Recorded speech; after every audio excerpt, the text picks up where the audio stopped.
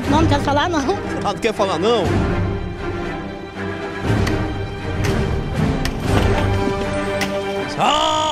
Estamos aqui hoje!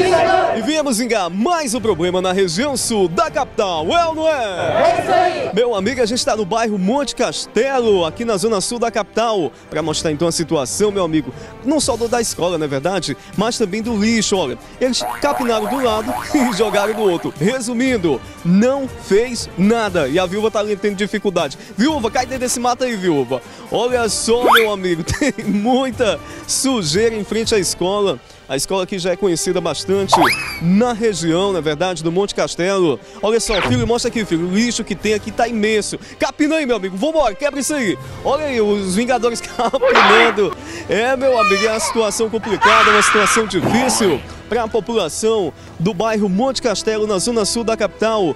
Como você pode ver, além do matagal do lixo, tem uma galeria aqui também a céu aberto. Filho, vamos lá, vamos mostrar para quem está em casa essa galeria que a população tanto reclama aqui também, claro, na zona sul da capital.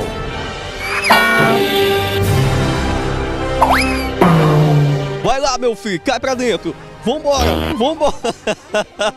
Eita, meu amigo. A gente brinca, mas é uma situação bastante séria e a população tem reclamado bastante, não é verdade? Olha, que o prefeito esqueceu da gente aqui. A capina passou na 21 de abril, na Aribaté a Tito, todas as e aqui esqueceram esse meio aqui. Olha, que é uma imundícia.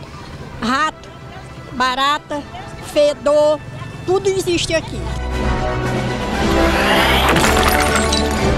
Tá difícil pra gente, para mais pra mim, que fica bem aqui perto desse buraco aqui, que o prefeito devia enxergar isso aqui, o SDU foi mandar consertar, tirar isso aí, que é um fedor mais grande do mundo.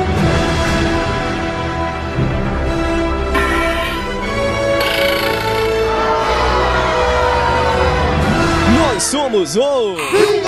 E viemos engar mais um problema na região sul da capital, é ou não é? É, é com você, Beto!